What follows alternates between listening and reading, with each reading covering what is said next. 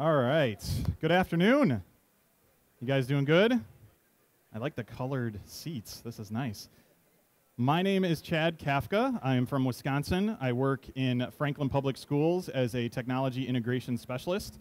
Uh, been there seven years, starting my eighth year this coming year. Basically means I get together with other teachers, help team plan, help drive our technology vision in our district. And I was the one that kind of got Google Apps going in, uh, in our school district, and we started that at our middle school. So, what this presentation is aimed at is kind of giving you some tips, some strategies, some methods for how to use Google Drive with students, hence the name Google Driving with students. Uh, the resources for this are all in this Google Slides presentation. There is a short URL there if you want to make a note of that or snap a few pictures. I'll leave this up here for a minute. I'm also going to put it up at the end in case you miss it. Uh, tinyurl.com slash ISTE13Google. And these are just straight to these slides. I've linked up some other resources in these slides, but everything stems off of that. While you're taking pictures and whatnot, I am a Google certified teacher. I'm also a Google certified trainer, so I do a lot of presentations like this, just sharing our successes with what we've done, how you can best use Google Drive, strategies, and things to think about when you're working with teachers, and explaining how to kind of set up their workflow uh, to be more efficient. The goal with technology is to obviously use technology to make our lives a little bit easier, right? So with Google Drive, there's some things that I want to share with you that we do uh, specifically to, to help with that. So um, looks like everybody's done snapping pictures, so we'll jump ahead. Uh, some very important things I want to mention just before getting into some of the resources I'm going to share. One thing that I think is very important, there's a lot of great tools for sharing in Google Drive, sharing different files to students and whatnot. I would suggest, though, as a teacher, as an educator, you still teach the kids how to share. There are some great scripts, some of which I'm going to mention. There are some great products you can add in uh, to make that make that more of a, a seamless issue for the teacher. But I think we still need to teach our kids how to share files by actually creating something, clicking the share button, understanding they can put in someone else's address. We can't get away from that because that's what these tools are really based around in Google Drive. So what we do is we have Google Apps rolled out in our district for uh, first we did seventh and eighth grade, and then that was last year. This school year that just ended, we, uh, we started branching out from the middle in our district and kind of working up into the high school and down into the elementary schools. And so at grades three, four, and five, we got to, we got to fifth and sixth this year. We're planning to do fourth and third this coming year. Um, teachers can use scripts if kids aren't, aren't getting the, the whole sharing thing. Uh, they can use scripts to easily share a file to a student, but it's still important to share those kids to show those kids how to share the files to the teacher. So at its base level, I guess, when we're doing this with teachers, Right now, we currently, we have our teachers have the kids create a file. They do this together maybe one, two times through in class. Click the share button, start typing your teacher's last name, and that's a tip that I do want to share with you. Anytime you have a big school district where you're sharing files, start with the person's last name because there are so many Michaels, there are so many Brians, there are so many Peters that come up in that address book when you're typing the name in. So start with the person's last name. Whether it's a teacher or a student, just comes up a lot quicker.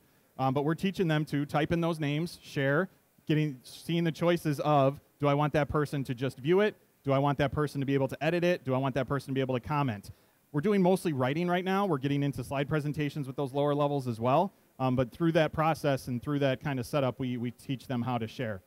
Grade six, seven, and eight, we started using different shared folder structures, and I'll show you uh, some of how that's set up, where we have the kids, if they're starting a course, they're starting a math course, they're starting a social studies course, a science course, they make a folder for that course they share that folder to the teacher, so it's just kind of a little one way, one place between the teacher and the student. So this, the teacher in the end gets a bunch of folders, and we'll talk about naming conventions here in a minute, but the teacher gets a bunch of folders for each kid. So if the kid's turning something in, as we're, as we're used to with education, they put it in that folder, and then it's automatically shared to the teacher. It takes out a lot of the little steps with hit the share button, type the teacher's name for every single assignment. As long as they assign a file to that folder, the folder's already shared, the instantaneous sharing happens. And I'll show you a little bit of that structure as well.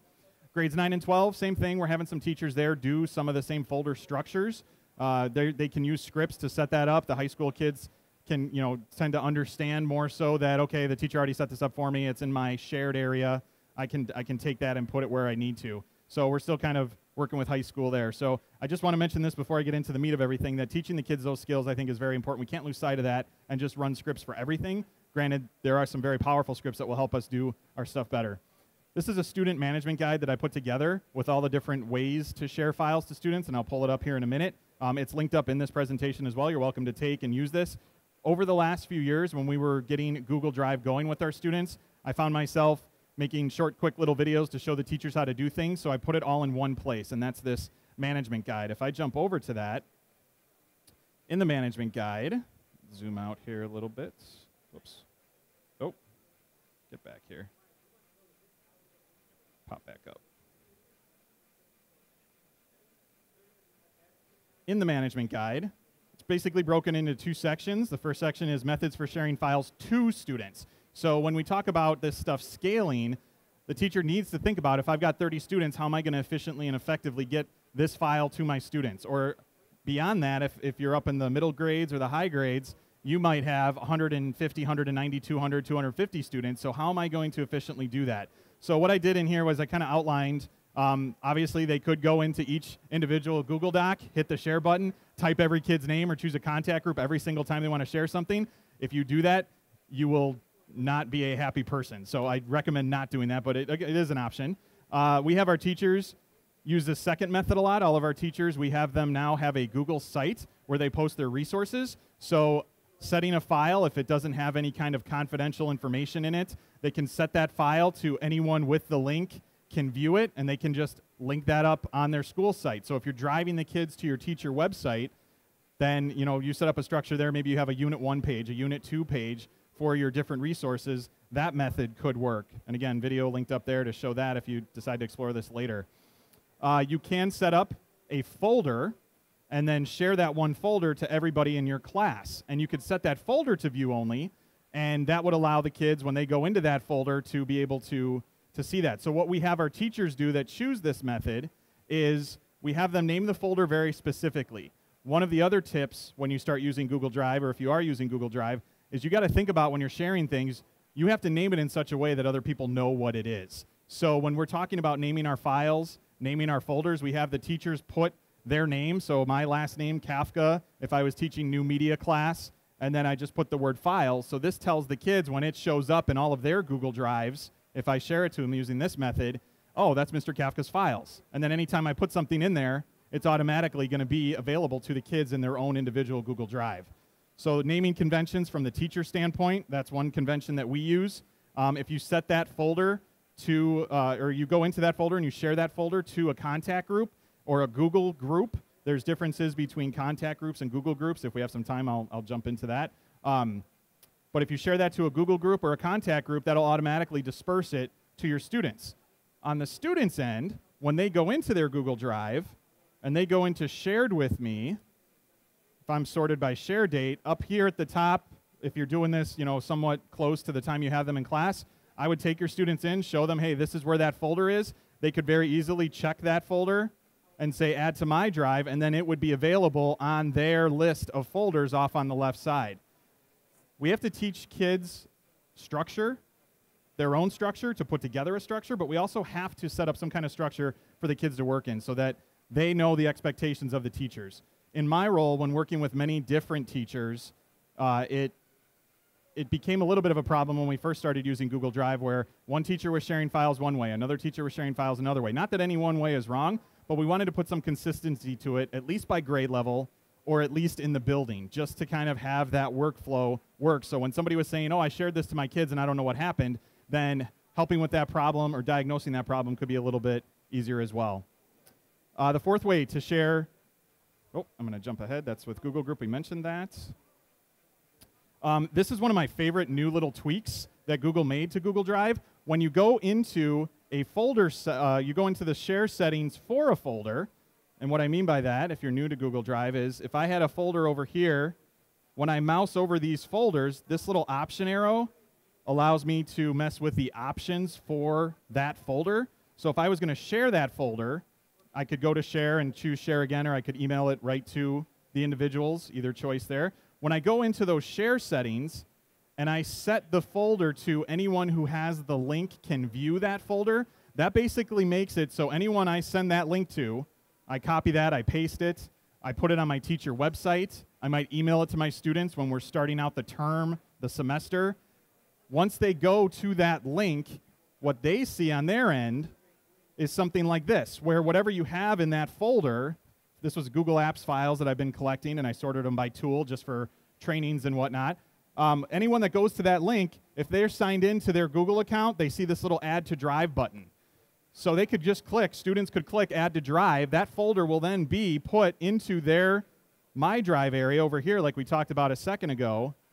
And that just that's there for the term. So then anytime Mr. Kafka puts files in that folder, they're automatically there. They know they can go into Google Drive, go to Mr. Kafka's folder, and all that stuff is there. So this little tweak just made it more visual. Um, if you're if you're working with people that don't have Google Drive and they you just want to share files to them, if they come here, they'll still be able to see the files. They'll still be able to go into a folder, open a spreadsheet, open a document, open a slide presentation. Uh, if they do sign in, then they get the choice to automatically add that folder to my drive. And you might be thinking, okay, well, what if something happens and I want to take that right away? There is the ability when you go back into the share settings where you can change that link. So if that is a worry, um, you could do that. If you're worried about year to year, you could turn that ability off and then re- return it on, and it, it'll it'll help kind of troubleshoot that. So those are kind of the different ways that we work with sharing files to our students. As I mentioned, our school district went to um, a, a challenge, as we call it, because we didn't want to say project, because that sounds like work. So the challenge this year was for the teachers to have a Google site up and running by this coming Halloween. So this is the method we're going to suggest to them. If they're just putting stuff in there, copies of notes, um, if they're putting stuff in there that doesn't have kids in fir- uh, first and last names, you're not running the risk of, of you know, um, affecting anyone's privacy. That's what this is for. If there is stuff like that, that's where you get into thinking about, okay, maybe I do need to share this directly to some individuals, a group, so that you do keep that privacy intact. In terms of collecting files from students, uh, we have some different ways that we do that. So the first way is the direct share, where the student just goes in, shares it, and what we started doing was having our students use a naming convention. And I can't stress this enough. This is super important. If you're not doing this, do it. Find a way in your district to make it building level, grade level, district level, whatever. We have the kids name their file by, if they're at the middle or the high school, their class hour, so third hour in this case, their last name, and then whatever the topic is, the teacher tells them that that assignment is. So in this case, persuasive essay. What that does then for the teacher, it's totally a selfish thing, as I was using Google Drive with my students. When all those files were getting shared to me, I wanted to look at something real quick. Yes, I could see owned by when I was in my Google Drive. I could look in the, if I was in uh, my drive here, and, and or in my uh, shared with me rather, and I could see the owned the owner column. I could see what that was, but if we get kids just naming a file, you know, whatever they think it is, then there's no easy way to search that. Part of the great power of using Google Drive is you throw a word up in that search bar at the top. Kid says, "Oh, I shared this to you, Mr. Kafka. You know, I shared this to you yesterday, and it's not where I think it should be." I could do a search for any part of his name, any part of the assignment, any part of the title, anything that's actually in the document, and that search result should come up. So by having that naming convention in place, what this helps do is teachers that are teaching a third hour and they're specifically wanting to see their third hour students could do a search for three, could do a search for three persuasive essay or three essay, and everything would come up. And then when you do that search, can easily checkbox those things. Could just go down and check them one by one. Or as a tip, you can shift click further down and it selects everything between the top and the, the click that you do at the bottom uh, it just allows for you to grab everything and, and shove that in a folder for you. Part of the thing that part of the things that we show to staff when we're doing trainings in our district is how this should make their lives easier. A lot of people that are new to Google Drive think, "Oh my God, it's a whole different thing. I'm so used to um, doing things in Word or doing things with files on flash drives or doing things in a different tool." And this just puts it all in one place. It's accessible anywhere. How many people are using Google Drive right now with students? Okay, good. Oh, good hand. Okay. How many people are exploring it? Maybe going to go to it? Just curious who's. Okay, good. That's good to know. So this resource will help you hopefully get some kind of structure in place if you work with your trainers and, and whoever's helping you do that. Um, this was the method I mentioned earlier. We have the students, first day of class or first week of class, they create what we call a turn in folder. And again, this goes back to teaching them how the sharing rights work for a folder. So as a student, we have the student go in, and I'm going to jump over to a student account here we have a student go in, and if the student is in uh, second hour, was that my time? Am I done? Or was that a phone? Oh, okay. it's like, I'm getting the giant hook. Um, you go into uh, the student's drive, the student creates a folder. We have the students name the folder the same way. So if I'm in uh, second hour language arts class and I'm a student, I would name it to my last name we're going to say is Smith, and this is my language arts folder. I would then go into, and we, we have the teachers walk through this with the students. It's also good for the teachers to know the sharing rights. That is a powerful uh, tool as well. When the teacher goes into the sharing rights, or the teacher or the student, they go down to the add people and they put in Kafka, and then they choose from the, the, the Kafkas that come up, of which there's only one in our district. Um, but that will allow them to share it to them with edit rights. By doing that, then this becomes a kind of a, a drop folder. So the student is working on something, so super uber important paper. This should obviously have the correct naming convention, but the student can drag and drop this into the folder. Or what we've been teaching kids to do, because we've had a lot of issues with drag and drop, just because kids will accidentally drop it in the wrong place and think they turned it in, but maybe they didn't. We've been teaching the kids to use the checkboxes. So checking something, when you check something, you get your tools up here at the top. You choose the folder that you want to put that thing in, and then you simply click on the folder, and whichever one is checked, it'll go into that folder. And by going into that folder that's already shared, shared because it's got the little person on it, that's just a visual cue that that little head and shoulders is there, that this is already shared, it'll automatically share to the teacher. So that's one way that we have students turn in files. That's been working very well at our middle school. Uh, we're talking about using some scripts, and I'm going to mention a few of those now that we're exploring going into the next school year. Um, oh, I should mention this first as well. One other thing that we do is we have our teachers, and they found this very beneficial. Our teachers will create a Google form. They will put it on their website or put it somewhere that the kids can get at it. And after the kids put a file in the folder, they'll tell the kids, okay, you've put the file in the folder. As a way to tell me that it's ready to be looked at or it's ready to be graded, go fill out this form. And the form is simply choosing your class hour from a drop down, putting in your first name, your last name, and then pasting the link to your file. Another good skill we need to teach to our kids because a lot of kids don't think about copying links, pasting links.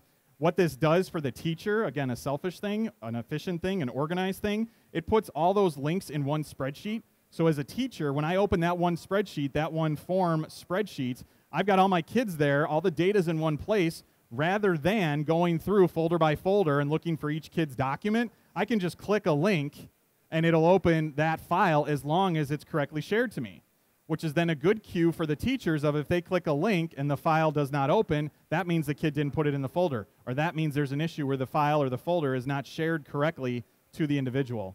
So if that interests you, I know I kind of gave an overview of it, but there is a video I linked up in this document if you want to explore that, and it shows how to set it up. So all different ways to do this. At its core, sharing a file. Understanding how to share a file. Once, you once you understand how to share a file, moving on to then uh, sharing a folder. If you get that, as a teacher, as an educator, then we can start talking about the fun tools, the magic. How many people use Google Scripts right now? Anybody? Few? Okay. One. Awesome. From Wisconsin as well. Woo! Go Packers. Any Packer fans? No Packer fans? Yes, there we go. All right. Good. Awesome. Okay, so scripts. Have you guys heard of Doctopus? Has anyone heard of Doctopus? Few people? Okay.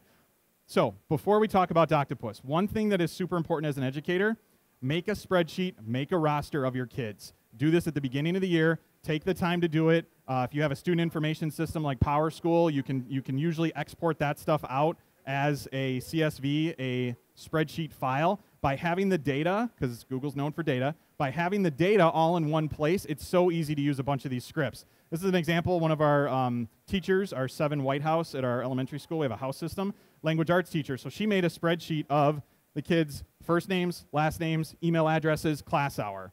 Something as simple as that. What happens then is when you go and run a script, the script you run in a spreadsheet, and I don't know if I did a screenshot of this. Let me check. I didn't do a screenshot of this. Um, what happens is you go into your spreadsheet, you go under Tools, and there is a place called the Script Gallery. And there's a video linked up that shows this whole process. I didn't want to show you the whole process because it would take a little bit more time than we have. But you go into the Script Gallery, you install a script. This script in particular, Doctopus, created by an educator named Andrew Stillman out of New York. Uh, it adds a little drop-down menu here. So then when I go to the Doctopus drop-down, that then gives me the choice, choice to launch the script. When I go through the steps of the script, what this does is it walks me through four steps. It asks me, pick a file that you want to automatically share to all your kids. You want to make a copy of it and share it to each kid. So an example for me was I taught a new media class. I had done a script template. I'm going to say script in different terms here. I had done a uh, script for a podcast, or a screencast rather. The kids were going to write out their script to read from. So I had done a template and I had said, you know, this first part should include you introducing yourself, also write down what your visual is, and I wanted to share that uh, out to them so that they could take and use it. I wanted to just get it to them as quick and efficient as possible. I used Doctopus to do that, where it ran, it took each kid's email address from the row. I also got the choice to name the file, like we talked about a minute ago with naming conventions. So it took the class hour, the last name, and then I said new media screencast was what we had called it. Um, and it made the file and it shared it to them. What that looks like then for the teacher is the script runs and it just does everything for you. It's seriously magic. It's just awesome how it happens. Uh, it puts the link to each kid's file in the spreadsheet for you. And this file also appears then in the kids' shared with me area. So they get a, they get a document that shows up that says one Smith new media screencast. They can open that, they can work in that. They are an editor. There is um, an awesome component that they just added recently. If you're a reader, or if you're a reader, if you are a uh, language arts teacher, we use the Readers Writers Workshop where we have our kids conferencing with our, our, our uh, teachers a lot. And so through that, um, part of that Readers Writers Workshop is to assess the kids with rubrics. A piece of this is once everything is said and done, and oh, it's down here, it's a little hard to see, you can run a rubric that you create. You create a rubric in a, in a spreadsheet. By running this rubric, you can choose, it's a little hard to see here, but the teacher had clicked on this choice for the assignment and these two choices and given the kids, or given the kids, I'm sorry, given the kids a nine, an eight and a half, and it kind of grade those cells in. This gets deposited in the bottom of the kid's document. And again, I know I'm talking kind of ambiguously if you haven't seen that. The videos that I linked up from Andrew Stillman, uh, his website explains how to run Doctopus, and then there's a great Goobric video here by um, another fellow uh, Google trainer, Jay Atwood, where he goes through and shows how to do this. You do have to do this in Chrome. If you're not a Chrome user, I highly suggest you get Chrome. If I could marry a browser, I would marry Chrome. My wife thinks it's weird, but she's okay with that. Um, so definitely check that out. Another script that I've been exploring, and I personally have not tried it yet, is G-Class folders. What G-Class folders does, and we're looking at this maybe as an option as we go into the fall, is um, it does a lot of the folder structure building for you. This is from uh, Bjorn Behrendt and Andrew Stillman, another uh, script that Andrew Stillman helped to build. And basically, you set up kind of the same thing. You have a spreadsheet, you run this script, and it creates different folders for the kids. It also will create, and I don't remember if it's in this screenshot. Uh, yes, for, the, for a particular class, it creates an art, if this was an art class, a view folder, so kids can only view those files. They can't change them, they can't edit them. And then also an edit folder where they could go in and if you had some collaboration occurring where you wanted kids to put their, put their um, if they were signing up for something in a spreadsheet or whatnot, that would give the kids the edit ability.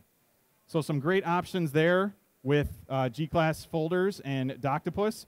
As another resource I wanted to share with you, as we got into Google Drive and using Google Drive, a lot of quick tips came up, a lot of quick questions rather. And so what I did was I turned those into quick tips for our staff. So I put together, I called it a 20-ish second tech tip um, because you can't really get it done in 20 seconds, as I found, as I originally called it a 20-second tech tip.